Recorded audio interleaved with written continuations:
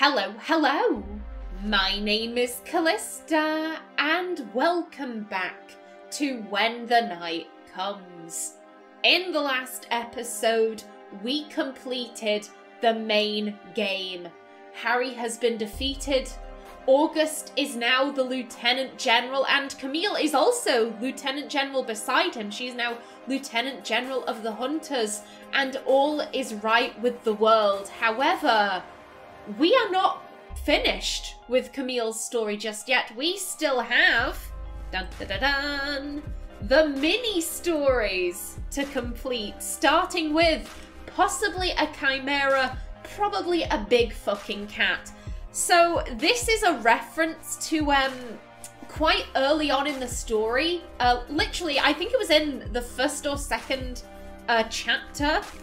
Uh, Piper was sent off to investigate a possible chimera sighting. However, she was like, "Oh, you know, these people really wouldn't know a chimera from a very large cat." So that's that's clearly a reference to that. However, I'm not actually certain where this DLC story could go. So, you know, I'm I'm excited to see where this leads us. Uh, tell us your first name. Uh, it was Camille. Abeline. Uh, she, her pronouns. Hmm, possibly a chimera, probably a big fucking cat. Uh, we went with August. Yeah, I would I would like to follow things on from uh, from the ending. Let's let's not just pick a random romance and run with it. Still, I find it quite interesting that they allow you to do that. I'm not gonna lie, I kind of assumed that they would unlock after you completed the main game with that romance. So I, I find it quite interesting that you can you can pick everything. I'm in August's office, listening to one of our newly appointed junior recruits waffle on about how impossibly happy they are to be serving our branch. As wonderful as that is, and as grateful as I am that Lunaris is now a place that hunters long to work in rather than seeing it as a death sentence, I really want to be alone with my partner. It's been days since I've so much as held their hand, and I think I'm about to die. Around every corner is another pile of paperwork, another night of fairies causing havoc in the woods, another dinner with some random foreign diplomat. So, to say it's a pleasure would be an understatement.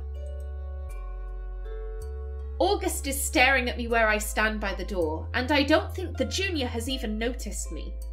Their gaze is heavy, a lazy, sleepy smile on their lips, their head propped up in their hand as they lean back in their chair. They look knackered. The junior stopped talking minutes ago, and yet August is still just staring at me. As flattered as I am, I clear my throat. August stands up fast, almost as if someone struck them in the backside with a bolt of their own magic. Do excuse me. It's a pleasure for us to have you here, but I have an urgent matter I must attend to. This poor junior. Of course, Lieutenant General. The junior bows and spins on their agency issued boots, their eyes comically wide when they spot me. I have that effect on people these days. I try to not let it get to my head. They dip their head and mutter a hello under their breath, their cheeks pink as they scurry past and swiftly close the door behind them.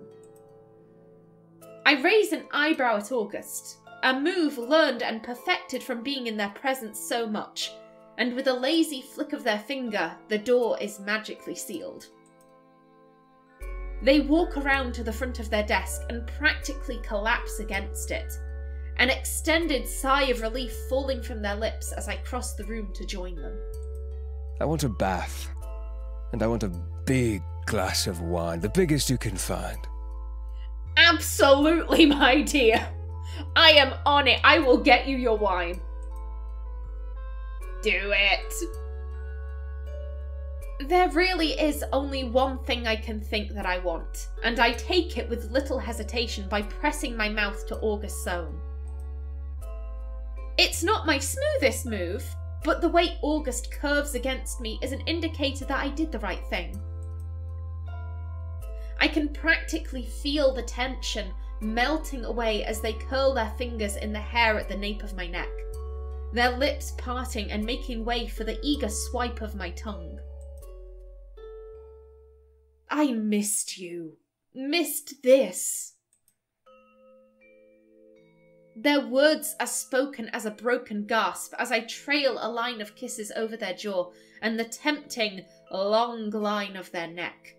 The room coming alive around us as August's skin tingles and thrums beneath my palms.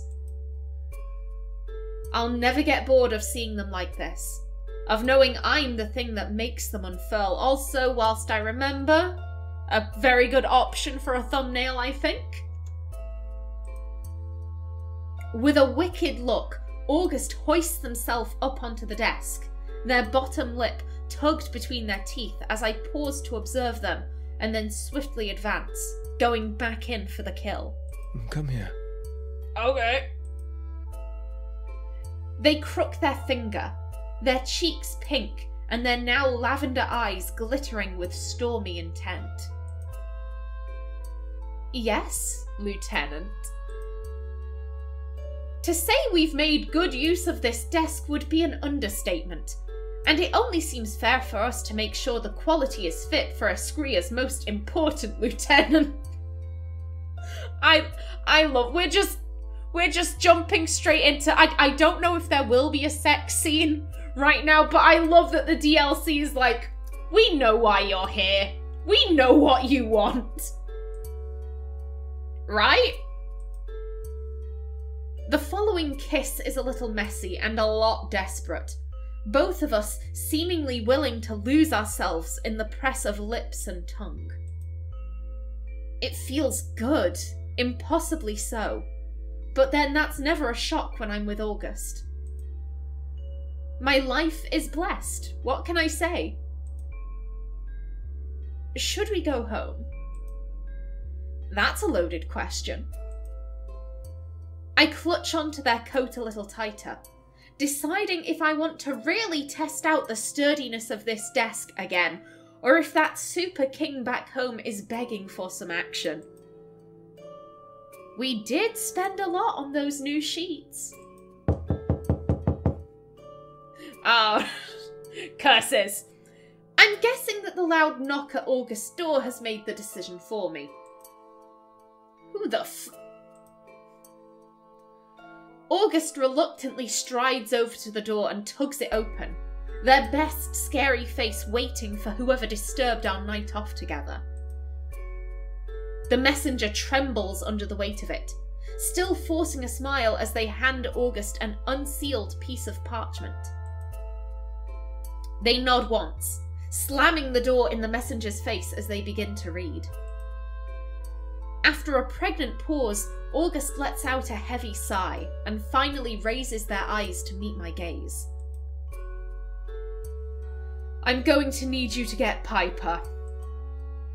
There's an angry chimera on the loose. But is it? Or is it a cat? Because, uh... Piper and I sit and wait to be briefed on this apparently urgent matter. She's clearly and enthusiastically unenthused, her feet tapping against the floor rapidly where she lounges in the chair, legs spread. You must know what it is. You were here with them. I shrug. She grunts. August enters and she makes no effort to sit up, simply frowning a little harder as they take a seat at their desk. Thank you for coming at such short notice, Piper. Yeah, well, what's bloody new, right? It is your job, you know. I thought you enjoyed stabbing things anyway. She straightens up at the prospect of getting to fight something. Oh, so it's that kind of emergency. Not another night of Piper! Please come save us because we got all naughty in the office and are somehow locked in because my magic is stupid. I groan and cover my face with my hands. That certainly wasn't our finest moment. Guys! Guys, what are you... God damn. I knew we should have called Ezra instead. You promised us we'd never speak of that night. Get off, I'm just fucking with you. She scoffs, leaning forward and reaching across the desk to place her hand on top of August, offering them a reassuring pat. Your dirty little secrets are safe with me. Then she smirks at me, and I know that she'll hold it over us until the day we die. Anyway, they clear their throat and settle back into that familiar, stuffy demeanour that I strangely love to see. There's a chimera on the loose. Ugh. Piper groans loudly beside me, throwing her hands in the air as she hauls herself out of her chair and begins to pace. August and I exchange a knowing look, bracing ourselves for the inevitable breakdown. I grimace. Are you sure? Because last time it was a cat, and the time before that, and I'm aware that chimeras are incredibly unpredictable and murderous. And if we ignore every report that comes in involving a chimera and one actually turns up and eats the townsfolk, they throw Piper a pointed glance, then spread their hands and offer me the floor. That would be bad? Yes, it would be very bad. It's always fucking chimeras, isn't it? Can't you sign an order that makes every Lunarian get a bloody eye test? They're all mad. Look, I am very sorry that this probably unfounded report has come in at such an hour, but you two are the best, and I'd very much appreciate it if you. We're on it. Don't worry. I stand and take Piper by the elbow because the faster we get the fuck out of here and find this whatever it is, the sooner I can drag August home. I'm genuinely in withdrawal at this point. Being in the same room as them and not touching them is becoming painful. Oi! August and I haven't seen each other properly in over a week, Piper. I promise you we'll find and kill this thing faster than I can say I'll buy the next round. She growls through clenched teeth and tosses August a glare as I drag her from their office. However, the promise of free booze seems to placate her a little. Fine.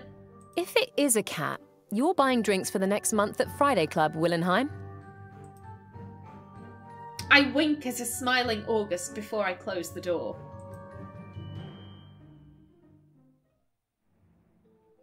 Piper and I step outside with nothing but a hastily scribbled pile of reports in our hands. The first report states that there was unusual activity in the forest. Unusual activity in Lunaris, a town teeming with creepy creatures. What a revelation! I know, I know, but we have to check it out. I smirk at her and knock her shoulder with mine in passing. Come on, the sooner we get this done, the sooner we can go. She sidesteps alongside me, a mischievous look on her face. How's things with the lieutenant? I cast her a sideways glance, suspicion rising. She usually gets grossed out if I talk about August things. Why do you ask?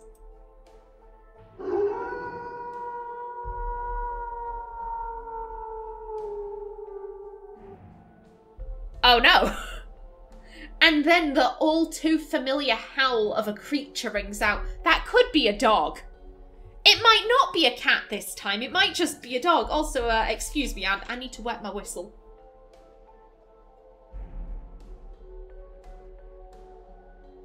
I am going to be doing the uh the DLCs all in one. I don't want to split them up because I I gather that they're rather short anyway, so it, it just seems a little a little silly to be splitting them up. So yeah, I'm I'm going to be taking frequent drink breaks.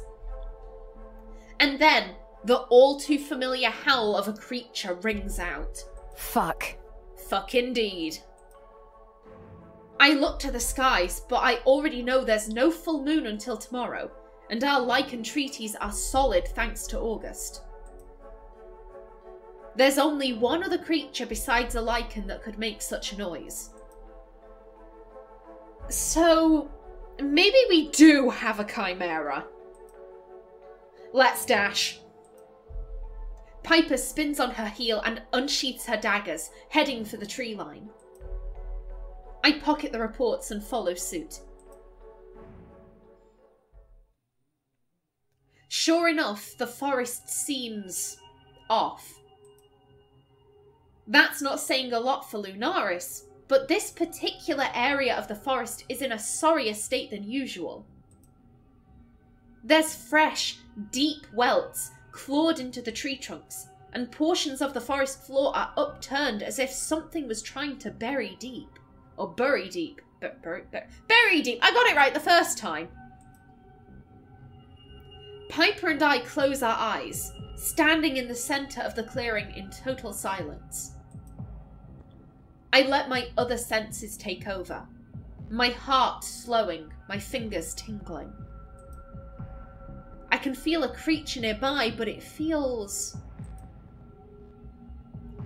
You've got to be fucking kidding me. It's then that I see our culprit. Is it a dog?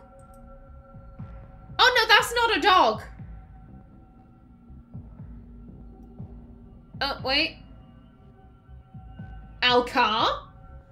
Two glowing crimson eyes peeking from behind a tree, far too far too small to conceal all six foot two of him and his stupid bushy tail. Get out of here, you splendid moron, so I can clip you about both sets of ears. It's Alcar. Alcar's the only person I know who has uh, two sets of ears. That that still freaks me out.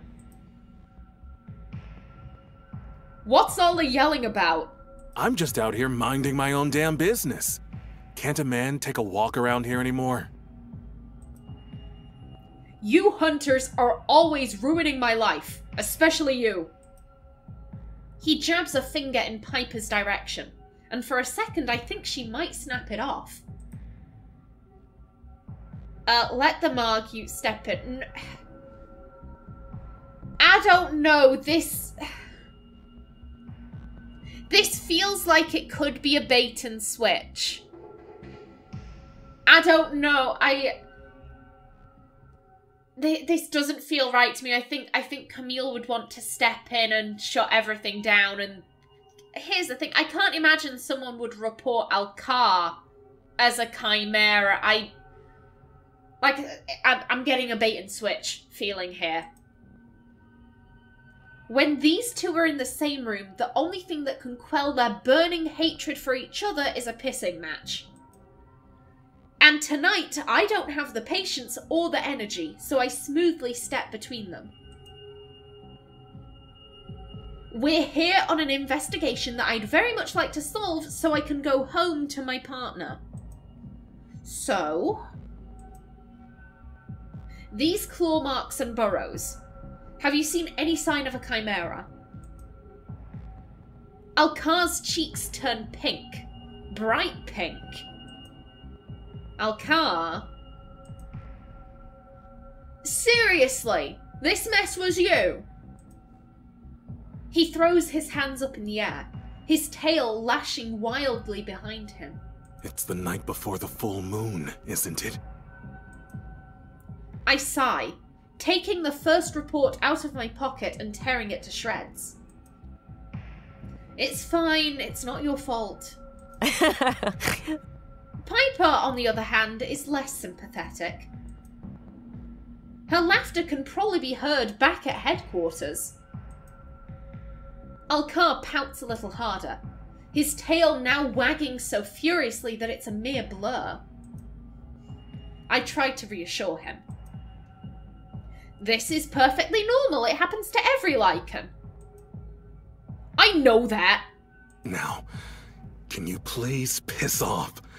If I don't dig some more holes, I think I might combust. I cringe as Piper begins to laugh again.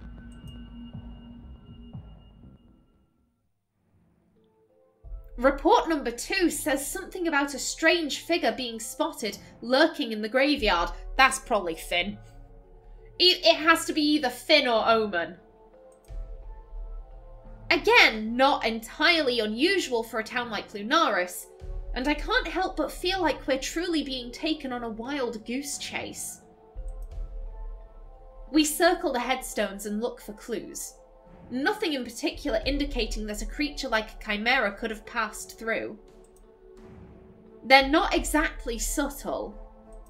I can sense nothing other than a bunch of bones. You? I shrug. Same. Another dead end. Ha! nice. Love a good graveyard joke. My feet are starting to hurt, and so is my head. Almost 24 hours without sleep will do that to you, I suppose. I can see Piper is struggling too. Her usual confident stance turning into a sleepy slump. Do you think we should split up? Piper sighs and kicks aside a hefty stone, sending it hurtling into the forest. I guess I could hit up clue three while you hang out here for a bit.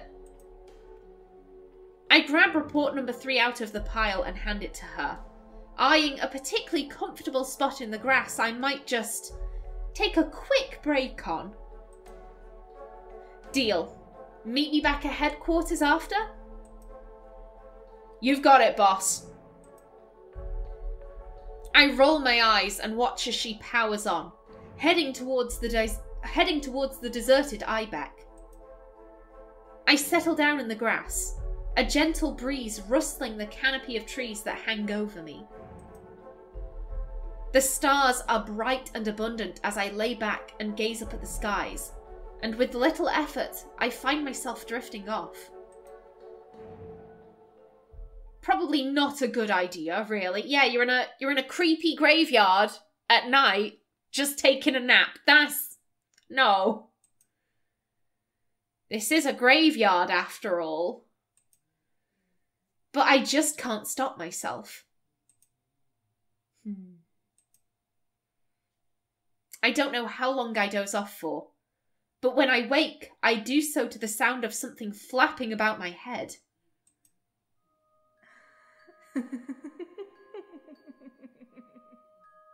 oh, hell the fuck no. No, thank you. I sit up fast, my head and my heart pounding, and I hear a muted giggle coming from somewhere in the graveyard. I stand and clutch for the dagger I keep on my holster as I see a hulking shadow out of the corner of my eye. Fuck. I lunge, slashing blindly into the darkness, and I hit a cloud of thick black smoke that dissipates upon contact. I hear another giggle, and the smoke curls in on itself and begins to float away, almost as if it's daring me to follow. So, like the heroic idiot I am, I oblige. Camille, no! Camille, don't act like every white girl in a horror film. Don't do that.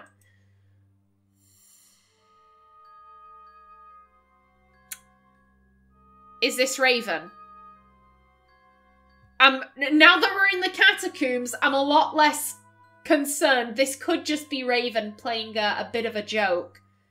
I chase it halfway across town and down into the depths of the catacombs, and the smoke comes to a standstill. Then it materializes into something that most definitely isn't a chimera. I suddenly realized I had a strange feeling I recognized that high pitched giggle. Yep. Hey. You're right. Oh shit, what was your voice? I think I I think your voice was very similar to the one I was doing for Piper. Hey, good looking. Raven. Why? She shrugs.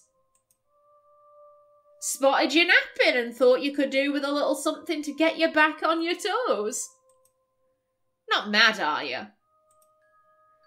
I sigh and put my daggers away when she eyes it pointedly, almost forgetting I was holding it all together. No, I'm not mad. I was just looking for a creature. There was a report of something big and scary lurking in the graveyard.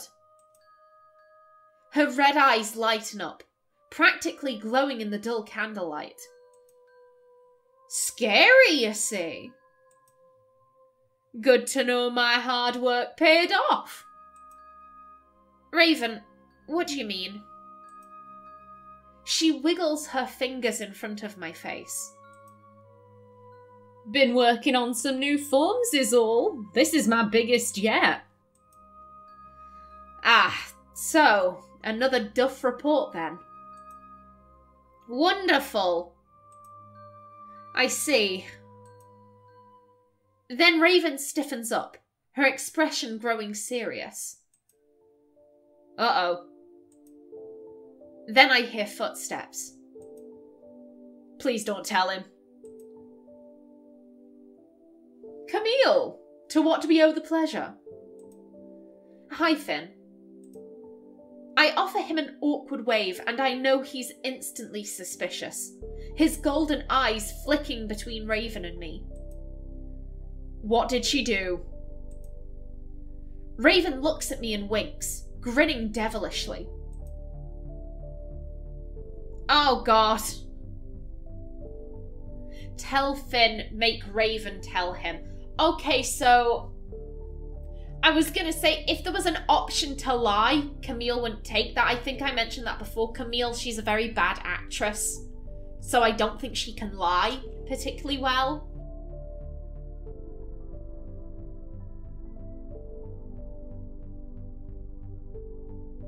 Here's the thing Raven asked us not to tell him, so I think I, I think Camille is a lot more inclined to just be like, Raven, come on, you, you gotta tell him.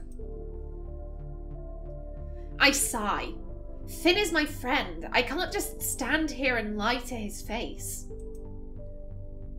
He pays for most of our rounds in the Wolf, and this isn't the first time Raven has scared the living daylights out of the townsfolk recently. However, I don't have to be the one to be the bad guy here. She's literally the bad guy. Raven, I think you should tell him. Tell me what? Fine. Raven hooks her arm through his and cozies up to him, sighing deeply as she flutters her lashes. See, the thing is, is that I might have found a new form to play in. I've asked you so many times. Come on, I get bored sometimes when Lux is working.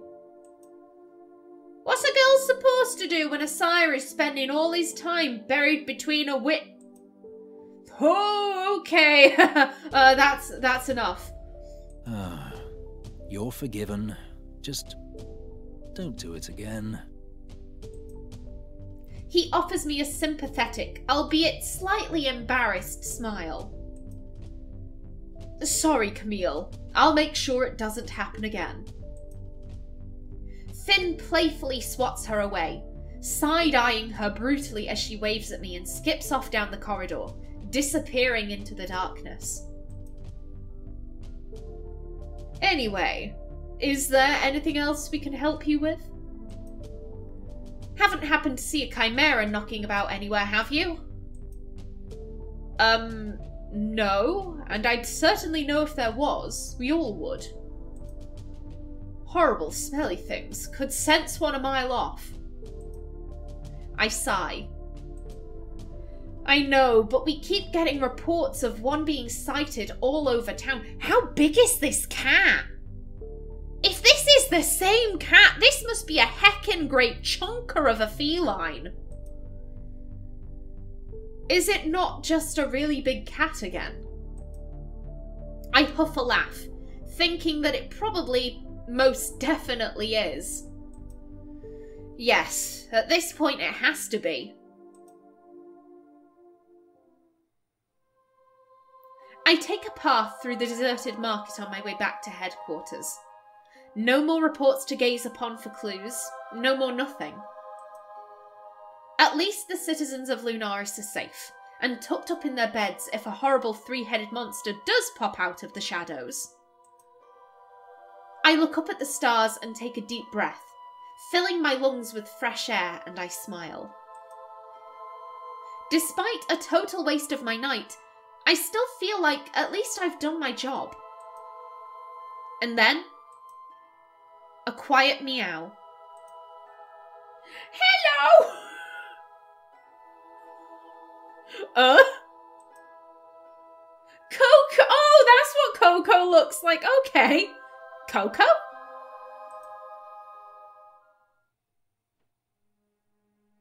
Thank you for bringing her back. I was so worried.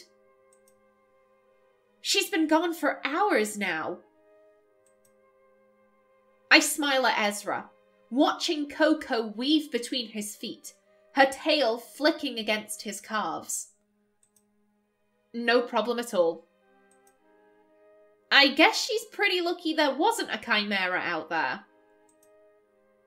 Oh, she'd be fine if there was, because she's also a chimera. nah, she's just magic. I look at Coco and see the wise, magical glimmer in her wide eyes, and I think that she definitely would stand her own against such a beast. Then I wonder if maybe she did cause a little trouble on her travels. Are you okay? Do you want some tea? His green eyes glisten at the prospect of offering hospitality, but I'm dying to get home to August. I'll pass tonight, thank you. Plus, it's stupid o'clock. Aren't you tired? Then I hear footsteps upstairs.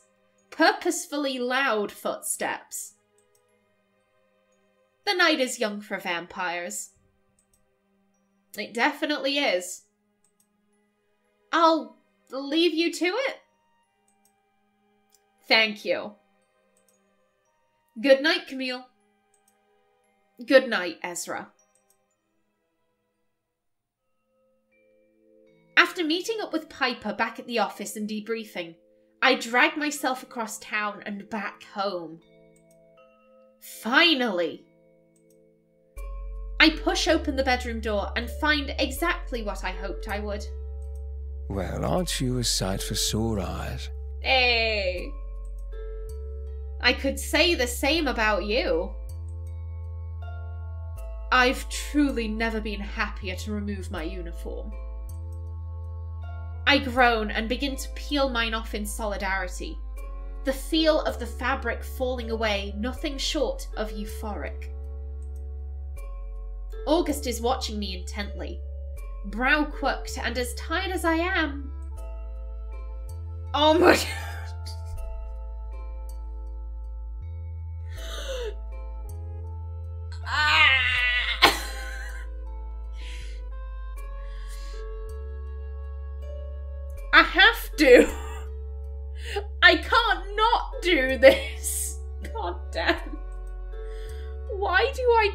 torture myself? Okay. I take a seat upon the edge of the bed and beckon them over. Come here. What's the magic word? I roll my eyes and reach out, taking them by the hips and tugging them into my lap. Now! I knew it. That's the one. I let myself feel, my hands roaming over their torso, lower, lower. They tremble beneath the slide of my palms, lashes dipped and cheeks pink as they watch the path I map. I've been wanting to touch you all day. Are you still tired? Absolutely not. They splay their palms against my chest and push me backward, my back hitting the mattress with a thud. Their lips are eager to find mine, the kiss sweet but hungry, lazy and reverent. When they pull away briefly, I'm struck by the way they look. Their features half cast in candlelight, half in the bright light of the moon. I still can't believe that they're mine. The few remaining scraps of fabric that separate us are discarded, the sheets soft and clean as we slide beneath them. Tomorrow will always come too soon, but for now, we get lost in one another. Every hitched breath, every desperate kiss, everything. I suppose that Lunaris isn't quite so boring after all. And there we go. That was uh, possibly a cam- possibly a chimera, probably a big fucking cat. What's the next one? Called Out of Cure Till Death. Oh dear. okay. And mm, I'm gonna think about that. I'm gonna think on that one. Well, we will get to Till Death in the next episode. So, until then, please remember to like if you enjoyed, leave a comment below, and if you wanted to subscribe, it would be very much appreciated. I've been Kallista. Thanks for watching, and see you in the next episode.